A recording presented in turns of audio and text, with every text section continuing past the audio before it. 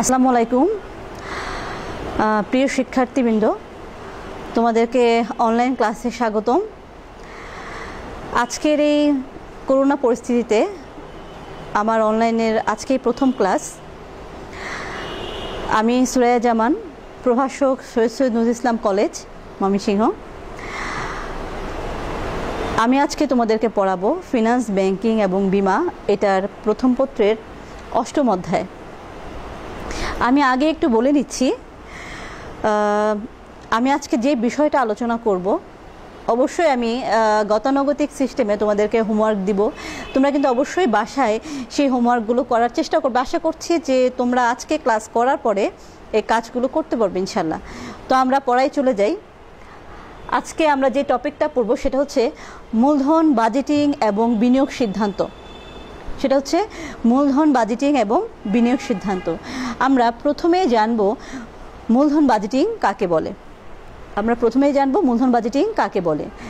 মূলধন বাজেটিং এটা হচ্ছে একটি দীর্ঘমেয়াদী বিনিয়োগ প্রকল্পের সাথে জড়িত একটা বিষয়। যে কোনো একটা ফার্মের বা প্রতিষ্ঠানের দীর্ঘমেয়াদী কোনো সম্পত্তি বিনিয়োগের ক্ষেত্রে, ক্রয়ের ক্ষেত্রে কিংবা সম্প্রসারণের ক্ষেত্রে, প্রতিস্থাপনের ক্ষেত্রে মূলধন বাজেটিংয়ের পদ্ধতির প্রয়োজন পড়ে। এবং বিনিয়োগ সিদ্ধান্তটা কি? বিনিয়োগ সিদ্ধান্তটা একটা ফার্মের জন্য আরও বেশি গুরুত্বপূর্ণ এবং আরও বেশি ঝুঁকিপূর্ণ। কারণ হচ্ছে, একটি প্রতিষ্ঠানের বিনিয়োগ সিদ্ধান্তের উপর নির্ভর করে একটি প্রতিষ্ঠানের লাভ বা ক্ষতি বা অবস্থা। সাধারণত, এই প্রতিটি ফার্ম বা প্রতিষ্ঠান তার ওই বিনিয়োগ সিদ্ধান্ত গ্রহণ করার আগেই এই মূলধন বাজেটিংয়ের প্রক্রিয়াগুলা বা পদ্ধতিগুলো ব্যবহার করে থাকে। এই পদ্ধতিগুলো ব্যবহার করেই বিভিন্ন বিকল্প প্রকল্প থেকে সঠিক প্রকল্প নির্ণয় করতে পারে এবং সঠিকভাবে বিনিয়োগ করতে পারে। আমরা আজকে জানব এই মূলধন বাজেটিংয়ের এই পদ্ধতিগুলো কি বা এই প্রকল্প এই কৌশলগুলো কি? তো আমরা প্রথমে জানছি যে মূলধন বাজেটিংয়ের পদ্ধতি হচ্ছে দুই রকমের। একটি হচ্ছে সনাতন পদ্ধতি, একটা হচ্ছে কি? সনাতন পদ্ধতি এবং আরেকটি হচ্ছে বাট্টাকৃত পদ্ধতি। একটা হচ্ছে সনাতন পদ্ধতি এবং আরেকটি হচ্ছে বাট্টাকৃত পদ্ধতি। সনাতন পদ্ধতি, আমরা আজকে শুধু আলোচনা করব সনাতন পদ্ধতিটা নিয়ে। কীভাবে সনাতন পদ্ধতির মাধ্যমে মূলধন বাজেটিং পদ্ধতি ব্যবহার করে বিনিয়োগ সিদ্ধান্ত গ্রহণ করা হয়? তো প্রথমে আমরা যেটা দেখব সেটা হচ্ছে কি, সনাতন পদ্ধতিতে আছে হচ্ছে গড় মুনাফার হার। সনাতন পদ্ধতির প্রথমটা হচ্ছে গড় মুনাফার হার। এটাকে আমরা বলি এআরআর মানে এভারেজ রেট অফ রিটার্ন এটাকে আমরা বলে থাকি এআরআর বা এভারেজ রেট অফ রিটার্ন দুই নাম্বারটা হচ্ছে পেব্যাক পিরিয়ড দুই নাম্বারটা হচ্ছে পে ব্যাক পিরিয়ড মানে একটা প্রতিষ্ঠানে বিনিয়োগ করার পর কত সময়ের মধ্যে সেই টাকাটা ফেরত আসবে, এটা নির্ণয়ের একটি প্রক্রিয়া। তো আমরা প্রথমেই যেটা দেখব সেটা হচ্ছে এআরআর আমি একটু বলে নিচ্ছি, আমাদের আরেকটা অংশ আছে, সেটা হচ্ছে বাট্টাকৃত পদ্ধতি। আরেকটা পদ্ধতি কি আছে? বাট্টাকৃত পদ্ধতি। এবং সেখানে আছে হচ্ছে নিট বর্তমান মূল্য পদ্ধতি এবং আরেকটি হচ্ছে আন্ত আয়ের হার পদ্ধতি। এটা আমরা, এই নির্ণয়টা আমরা আগামী অন্য ক্লাসে শিখব। তো আজকে আমরা যেটা শিখব সেটা নিয়ে আলোচনা করছি। প্রথমে আলোচনা করছি হচ্ছে গড়, মুনাফার হার বা এআরআর আমরা এটা সূত্র লিখে খুব সহজে এটার সংজ্ঞাটা কিন্তু আলোচনা করতে পারব। তাহলে সূত্রটা কি? এআরআর সমান সমান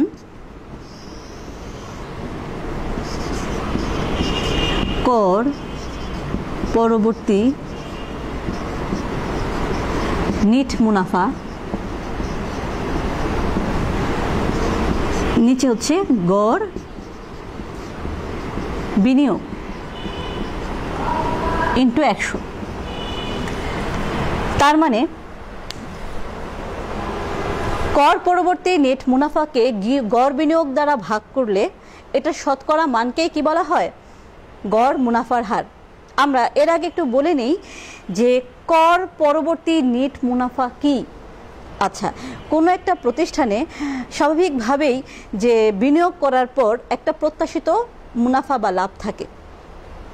সাধারণভাবে লাভ থেকে কর বাদ দেওয়ার পর যেটা থাকে সেটাই হচ্ছে কি কর পরবর্তী মুনাফা।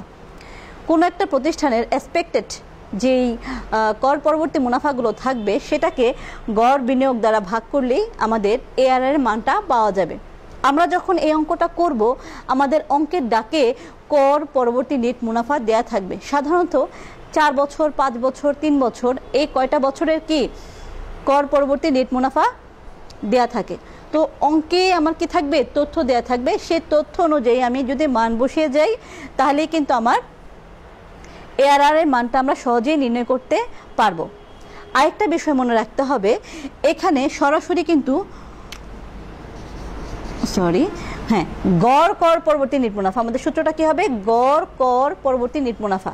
আমাদেরকে কিন্তু গড়, কর, পরবর্তী নিট মুনাফাটা নির্ণয় করে নিতে হবে এবং গড় বিনিয়োগটাও কিন্তু কি? নির্ণয় করে নিতে হবে। আমরা চাইলে এটা আলাদাভাবে বিনিয়োগ করতে আলাদাভাবে নির্ণয় করতে পারব। আবার একসাথেও কিন্তু কি করা যাবে। তাহলে আমরা একটু এখানে করে নিই। একটু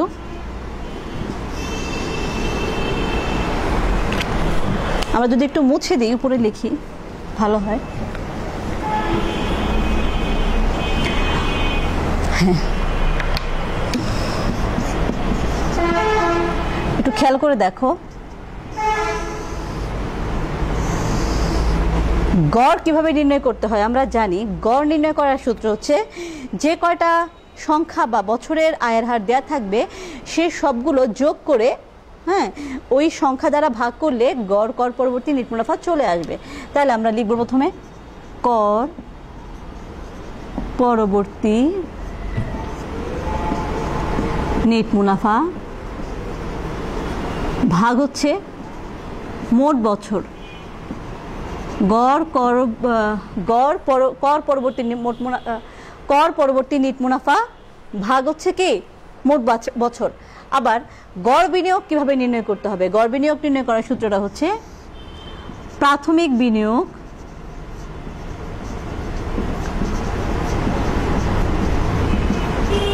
যোগ ভগ্নাবশেষ মূল্য ভাগ হচ্ছে কি? টু ইন্টু একশো। এটা হচ্ছে প্রথমে সূত্র, তারপর এই সূত্রটাকে ভেঙে আমরা এভাবে লিখলাম। কর পরবর্তী নেট মুনাফা মোট বছর, ভাগ হচ্ছে প্রাথমিক বিনিয়োগ যোগ ভগ্নবশেষ মূল্য। এটাই হচ্ছে আমাদের এআরআর নির্ণয় করার সূত্র। আমরা এই এআরআর নির্ণয় করে এখন আমরা একটা অঙ্ক করে ফেলি। কেমন? আমরা একটু কর্মপত্র এক অঙ্কটা করব। কর্মপত্র এক, পৃষ্ঠা ছয়শো ছয়ষট্টি তোমাদের সাথে বই থাকলে একটু বইটা নিয়ে বসলে ভালো হয়। জনাব আব্দুর রহিম মনি টেক্সটাইল লিমিটেডের আর্থিক ব্যবস্থাপক তিনি নতুন প্রকল্পে বিনিয়োগের চিন্তা, চিন্তাভাবনা করছেন। উক্ত প্রকল্পের প্রাথমিক বিনিয়োগ হচ্ছে বত্রিশ হাজার। তার মানে আমার প্রাথমিক বিনিয়োগ অলরেডি দেওয়া আছে, তাই না? আমাদের কর্মপত্রে কিন্তু দেওয়া আছে। প্রাথমিক বিনিয়োগ কত কত টাকা? বত্রিশ হাজার টাকা ইয়েস তারপরে ভগ্নবশেষ মূল্য কত টাকা? সাত হাজার টাকা হ্যাঁ। এই ভগ্নবশেষ মূল্য কিন্তু আমার অঙ্কে দেয়া আছে। তারপরে বলা আছে, প্রকল্পের আয়ুষ্কাল পাঁচ বছর, তার মানে মোট প্রকল্প, মোট বছর, তার মানে মোট বছর হচ্ছে কত বছর? পাঁচ বছর দেয়া আছে। আগামী পাঁচ বছরে কর পরবর্তী নিট মুনাফা দেয়া আছে যথাক্রমে ছয় হাজার, আট হাজার, নয় হাজার, দশ হাজার, পনেরো হাজার টাকা। ঠিক আছে? আমাদের কর পরবর্তী নিট মুনাফা, একটু সবাই খেয়াল করো, বলাই আছে সরাসরি কর পরবর্তী নিট মুনাফা, তার মানে আমাকে অলরেডি কর পরবর্তী নিট মুনাফা দেয়া আছে। কত? ছয় হাজার আট হাজার নয় হাজার দশ হাজার এবং পনেরো হাজার টাকা। তাহলে নির্ণয় করতে হবে কি? নির্ণয় করতে হবে গড় মুনাফার হার। নির্ণয় করতে হবে কি? গড় মুনাফার হার। তাহলে আমরা অঙ্কটা করে ফেলি। আমি সূত্রটা এখন মুছে দিচ্ছি।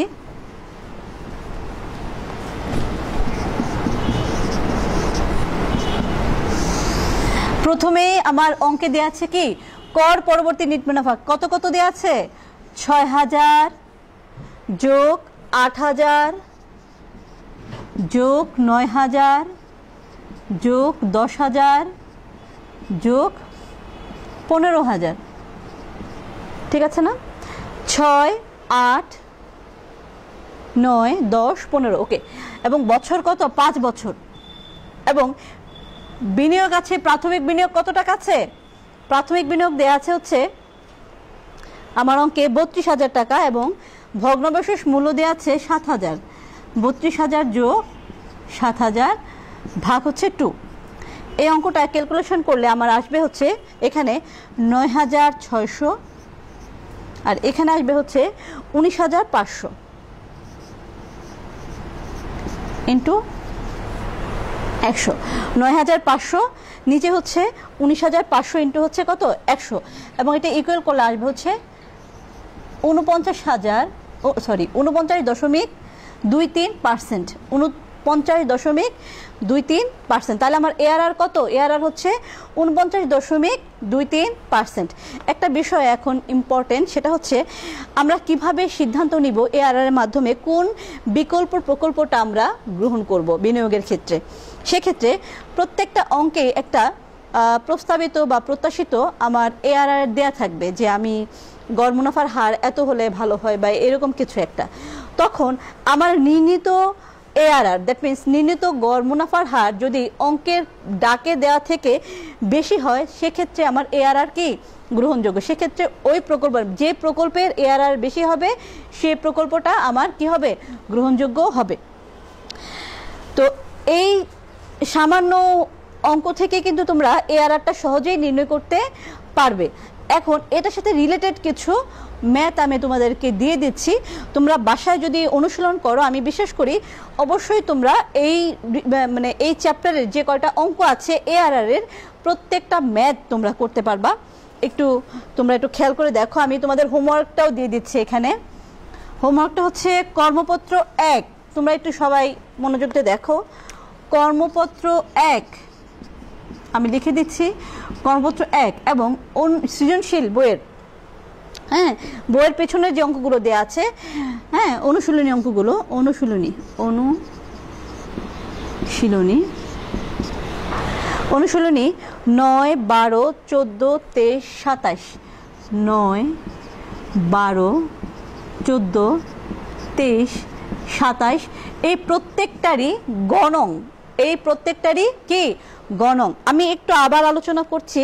প্রথমে আমরা আলোচনা করেছি মূলধন বাজেটিং এর দুইটা পদ্ধতি, একটা হচ্ছে সনাতন এবং আরেকটা কি? বাট্টাকৃত। এই সনাতনের দুইটা পদ্ধতি, একটা হচ্ছে গড় মুনাফার হার এবং আরেকটা হচ্ছে পেবেক পিরিয়ড। আমরা এখন যেটা আলোচনা করলাম সেটা হচ্ছে এআরআর এআরআর মানে গড় মুনাফার হার এবং যেটা করতে লাগবে হচ্ছে কর পরবর্তী নিট মুনাফা। কি লাগবে?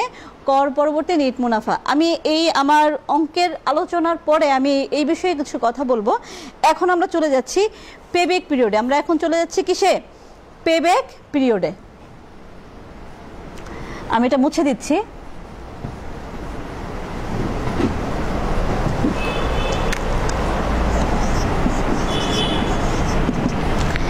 পেবেক পিরিয়ড বা এটাকে সংক্ষিপ্তভাবে আমরা যদি লিখি, তাহলে কি লিখি? পিবিপি কি লিখি? পিবিপি তাহলে পেব্যাক পিরিয়ড এটা সূত্রটা হচ্ছে আচ্ছা এটা সূত্র দেওয়ার আগে আমি একটা বিষয় বলে দিচ্ছি। এটা আমরা দুইটা পদ্ধতিতে নির্ণয় করতে পারি। একটা হচ্ছে, যদি একটি প্রতিষ্ঠানে হ্যাঁ নগদ আন্তঃপ্রবাহ সমান হয়, নগদ আন্তঃপ্রবাহ সমান হয়, সেক্ষেত্রে একটা সূত্র হবে। আর যদি নগদ আন্তঃপ্রবাহ অসমান হয়, সেক্ষেত্রে আরেক রকম হবে। তাহলে যদি সমান হয় নগদ আন্তঃপ্রবাহ। সেক্ষেত্রে সূত্রটা হচ্ছে প্রাথমিক বিনিয়োগ ভাগ হচ্ছে নগদ আন্ত প্রবাহ তার মানে কোনো একটা প্রতিষ্ঠানে বিনিয়োগের পর যদি ধরা হয় যে আগামী পাঁচ বছর নির্দিষ্ট পরিমাণে একটা অর্থ পাওয়া যাবে, সেটা যদি সমান হয়, সেক্ষেত্রে আমরা এই সূত্রটা ব্যবহার করে পেবেক নির্ণয় করতে পারব। যেমন, কোনো একটা প্রতিষ্ঠানে যদি কেউ এক লাখ টাকা বিনিয়োগ করে থাকে, এবং আমি একটা মুখে মুখে বলে দিচ্ছি, এক লাখ টাকা কেউ যদি বিনিয়োগ করে থাকে কোনো একটা প্রতিষ্ঠানে, এবং বলা হয় আগামী পাঁচ বছর বিশ হাজার টাকা করে পাবে, সেক্ষেত্রে আমার পেবেক পিরিয়ড কত হবে? তাহলে আমার প্রাথমিক বিনিয়োগ কত কত টাকা বললাম? এক লাখ টাকা যদি হয়, এবং নগদ আন্তঃপ্রবাহ কত টাকা করে বললাম? বিশ হাজার টাকা করে যদি হয়। এবং সেটা কি হবে? আগামী যে কটা বছরই হবে, সমান হবে। যে কটা বছরই হবে, কি হবে? সমান হবে। সেক্ষেত্রে আমার কত আসে দেখো তো? পাঁচ বছর, তাই না? তার মানে আমি এই প্রাথমিক বিনিয়োগ এক লাখ টাকা, বিশ হাজার টাকা করে যদি আসে তাহলে এই এক লাখ টাকাটা পাঁচ বছরে ফেরত আসবে। এই যে পাঁচ বছরে যে টাকাটা ফেরত আসলো, এটাই হচ্ছে মূলত পেব্যাক পিরিয়ড মানে টাকাটা ফেরত আসার সময়, যে কত সময়ের মধ্যে আসল টাকাটা ফেরত আসলো। যেটাকে আমরা বলি যে আসল তোলা। যে কোনো একটা ব্যবসা প্রতিষ্ঠান যখন আগে ব্যবসা করে ফার্স্ট কাজ কি থাকে? যে তার আসল টাকাটা উঠে আসুক। আসল টাকাটাকে কি করা? ওঠানো। এটাই হচ্ছে মূলত পেবেকের কাজ যে আমি কতটুকু সময়ের মধ্যে কি টাকাটা আমি আগে উঠাতে পারব। এই পদ্ধতিটা কিসের পদ্ধতি বললাম? যদি নগদ আন্তঃপ্রবাহ কি হয়? সমান হয়। একটা বিষয় খেয়াল করো, আমরা একটু আগে যেটা করলাম এআরআর ওখানে কি ছিল? ওখানে ছিল যে, কর পরবর্তী নেট মুনাফা, তাই না? এখানে আমার কি? নগদ আন্তঃপ্রবাহ। তার মানে দুইটা অঙ্কের কিন্তু তথ্যকে ভিন্ন ভিন্ন। একটার জন্য লাগবে কর পরবর্তী নিট মুনাফা এবং আরেকটার জন্য লাগবে হচ্ছে নগদ আন্তঃপ্রবাহ। যেহেতু নগদ আন্তঃপ্রবাহ লাগবে, সেক্ষেত্রে আমাকে খেয়াল করতে হবে আমার অঙ্কের ডাকে নগদ আন্তঃপ্রবাহ দেয়া আছে কি না তো আমরা এটা মুছে দিচ্ছি। এখন আমরা জানব অসমান পদ্ধতিতে কীভাবে পেব্যাক পিরিয়ড নির্ণয় করতে হয়। এখন আমরা জানব কি, অসমান পদ্ধতিতে কীভাবে পেব্যাক পিরিয়ড নির্ণয় করতে হয়। তাহলে অসমান পদ্ধতির সূত্রটা হচ্ছে A plus NCO minus C by D A plus NCO minus C by D আমরা আবার বলছি পেবেক পিরিয়ড এটা সূত্রটা হচ্ছে যদি অসমান হয়, নগদ প্রবাহ যদি অসমান হয়, আমি লিখিয়ে দিচ্ছি, নগদ প্রবাহ অসমান হলে আচ্ছা প্রথমে আমাকে কি করতে হবে? প্রথমেই অঙ্কের তথ্যের ভিত্তিতে আমাকে একটা ছক করে নিতে হবে। কি করতে হবে? ছক করতে হবে। আমরা ছকটা করি। আচ্ছা এটার জন্য আমার একটা অঙ্কের প্রয়োজন। আমরা একটু কষ্ট করে কর্মপত্র দুইয়ে চলে যাই হ্যাঁ? কর্মপত্র দুই। কর্মপত্র দুই হ্যাঁ কর্মপত্র দুইয়ের দুই রঙের দুইটা প্রকল্প দেওয়া আছে। আমরা একটা প্রকল্প আজকে করে দেখিয়ে দিব যে কীভাবে অসমান নগদ প্রবাহের মাধ্যমে পেবেক নির্ণয় করতে হয়। বলা আছে, জনাব তালহা লিভার ব্রাদার্স লিমিটেডের আর্থিক ব্যবস্থাপক। তার হাতে দুটি বিনিয়োগ প্রকল্প রয়েছে। একটি প্রকল্প গ্রহণ করতে হবে। এর মধ্যে একটি প্রকল্প গ্রহণ করতে হবে। প্রতিটি প্রকল্পের প্রাথমিক বিনিয়োগ হচ্ছে এক লাখ বিশ হাজার টাকা। কোম্পানির ব্যবস্থাপনা কর্তৃক নির্ধারিত সর্বোচ্চ পেবেক সময় চার বছর। মানে কোম্পানি থেকে নির্দিষ্ট সময় দেওয়া আছে, চার বছরের মধ্যে তারা কি করছে, চাচ্ছে যেন টাকাটা উঠে আসে। উভয় প্রকল্পের নগদ আন্তঃপ্রবাহ দেওয়া আছে। একটা প্রকল্প ক এবং আরেকটা প্রকল্প হচ্ছে খ। আমরা ক প্রকল্পটা করব। প্রথমে আমাদের কি লাগবে? এটার জন্য আমি যেটা বললাম, একটা ছক করে নিতে হবে। এটা ছাড়া কিন্তু অসমান নগদ প্রবাহের অঙ্ক করা যাবে না। যদি এই তথ্যগুলো দেয়া না থাকে, তাহলে প্রথমে কি? বছর, তারপর হচ্ছে নগদ আন্তঃপ্রবাহ, তারপর হচ্ছে ক্রমযোজিত নগদ আন্তঃপ্রবাহ। ক্রমযোজিত নগদ আন্ত প্রবাহ। আবার বলছি, তিনটা ছক হবে, তিনটা ঘর হবে আর কি। বছর নগদ আন্তঃপ্রবাহ ক্রমযোজিত নগদ আন্তঃপ্রবাহ তাহলে বছর কয়টা দেওয়া আছে এখানে আমার? পাঁচটা। কয়টা বছর দেওয়া আছে? পাঁচটা। এক, দুই, তিন, চার, পাঁচ। এবং টাকা দেওয়া আছে কত? পঞ্চাশ হাজার, ছয়চল্লিশ হাজার, তারপর আছে ত্রিশ হাজার চল্লিশ হাজার এবং সর্বশেষ দেওয়া আছে বিশ হাজার। আচ্ছা ক্রমযোজিত নগদ আন্তঃপ্রবাহ কীভাবে নির্ণয় করতে হয়? খুব সহজ একটা বিষয়। ক্রমযোজিত নগদ আন্তঃপ্রবাহ কীভাবে নির্ণয় করতে হয়? সেটা হচ্ছে, প্রথমেই আমরা পঞ্চাশ হাজারটা লিখে নিব। এর সাথে আমরা পরের দ্বিতীয় বছরের নগদ আন্তঃপ্রবাহ যোগ করে নিব। তাহলে পঞ্চাশ হাজারের সাথে ছচল্লিশ হাজার যোগ করলে হয় হচ্ছে ছিয়ানব্বই হাজার। পঞ্চাশ হাজারের সাথে ছচল্লিশ হাজার যোগ করলে হয় কত? ছিয়ানব্বই হাজার। এরপরে এর সাথে আমরা যোগ করব ছিয়ানব্বই হাজারের সাথে যোগ করব কত? ত্রিশ হাজার টাকা। ত্রিশ হাজার যোগ করলে কত হবে? এক লাখ ছাব্বিশ হাজার। ত্রিশ হাজার যোগ করলে হবে কত? এক লাখ ছাব্বিশ হাজার। আবার এই এক লাখ ছাব্বিশ হাজারের সাথে চল্লিশ হাজার যোগ করলে হবে কত? এক লাখ ছষট্টি হাজার। এক লাখ ছষট্টি হাজার। তারপরে এটার সাথে বিশ হাজার যোগ করলে কত হবে? এর সাথে বিশ হাজার যোগ করলে হবে এক লাখ ছিয়াশি হাজার। এক লাখ ছিয়াশি হাজার। আমাদের মূল কাজ কিন্তু শেষ। হ্যাঁ এখন শুধুমাত্র আমাদের মানগুলো নির্ণয় করব এবং মানগুলো দেখাতে হবে যে কোথায় কোন মানটা রয়েছে। খুব সহজ একটা বিষয়। একটু খেয়াল করে দেখো, আমি এটা সবসময় এভাবেই দেখাই। এটা কি একটা ত্রিভুজের মতো হয়ে গেছে, তাই না?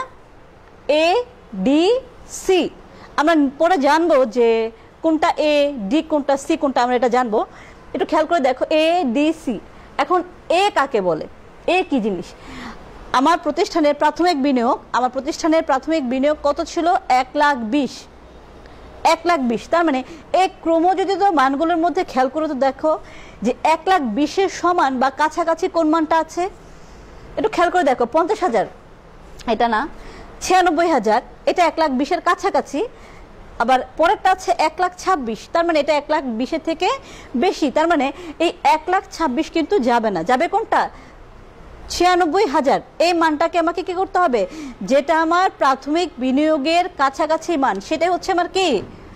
সেটা হচ্ছে আমার সি আবার বলছি, ক্রমযোজিত মান যেটা প্রাথমিক বিনিয়োগের কাছাকাছি, সেটা হচ্ছে আমার কি?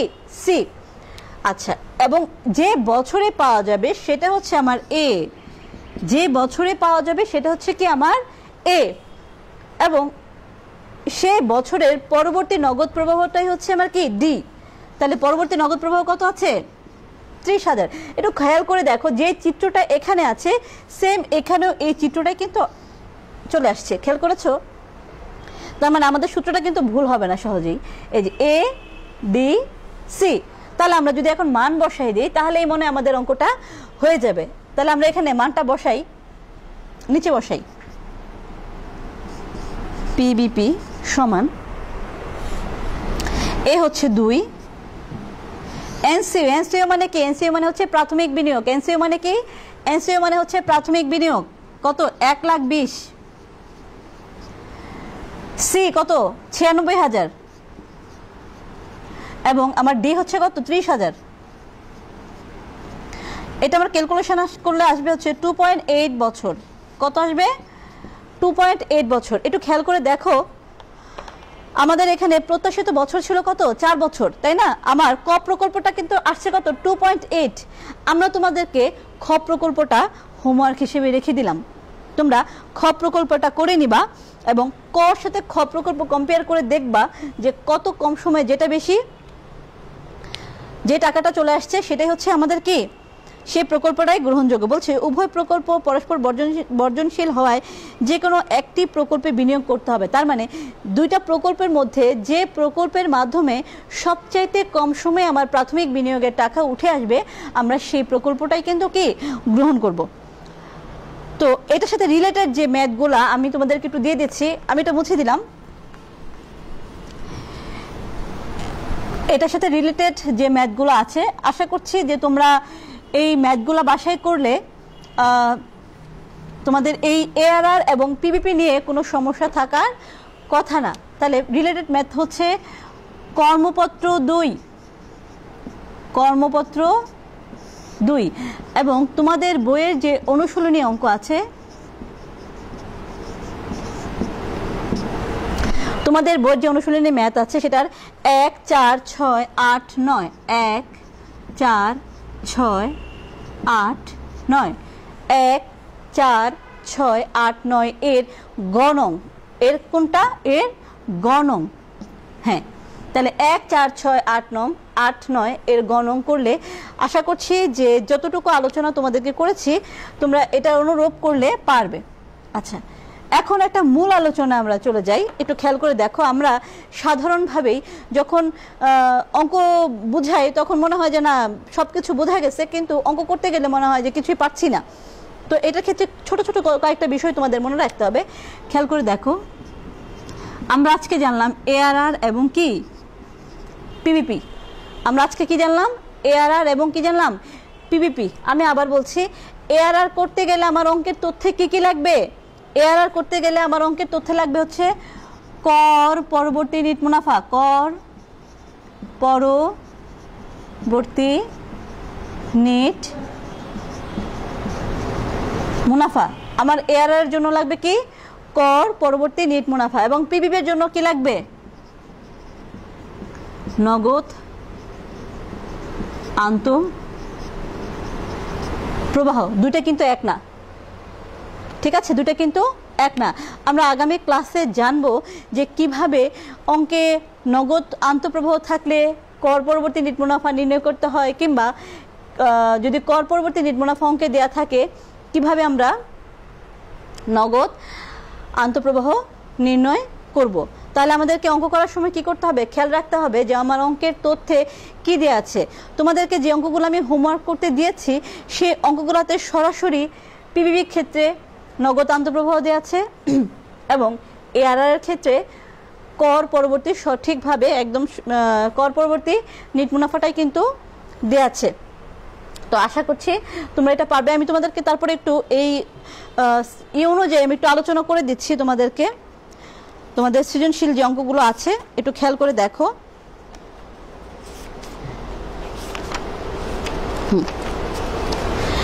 আচ্ছা পিবিবিটা একটু খেয়াল করো। সৃজনশীল এক হ্যাঁ বলা আছে, রেনেভা কোম্পানির আর্থিক ব্যবস্থাপক জনাব হাসিমের হিসামের হাতে বিনিয়োগের জন্য এক লাখ টাকা আছে। তিনি ক এবং খ দুটি স্বাধীন প্রকল্পে বিনিয়োগের চিন্তাভাবনা করছেন। প্রত্যেক প্রকল্পের প্রাথমিক বিনিয়োগ পঞ্চাশ হাজার টাকা। জনাব হিসামের প্রত্যাশিত আয়ের হার কত পার্সেন্ট? চোদ্দ পার্সেন্ট।